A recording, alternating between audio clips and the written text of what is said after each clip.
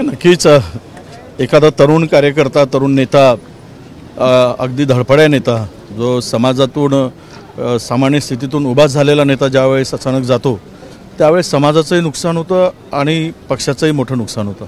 फार उमेदीने आम्ही आमच्या पक्षाने त्यांना अत्यंत कमी वयामध्ये लोकसभेमध्ये संधी दिली आणि त्यांच्यामध्ये ती ताकद शक्ती आणि लोकसंग्रह होता म्हणून पक्षांनी त्यांना ती जबाबदारी सोपवली.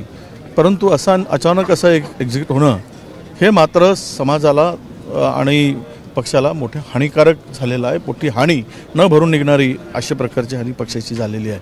मी आम्ही सगळे एकत्र अनेक वर्षापासूनचे काम करत होतो. स्पष्ट वक्तेपणा आणि बोलण्यामध्ये आणि भाषणामध्ये जे असेल पोटात ते ओठात असणारा हा आमचा कार्यकर्ता आणि नेता अचानक पडद्याआड गेला. ही न भरून निघणारी हानीच आहे आमची. एबीपी माझा. उघडा डोळे बघा नीट.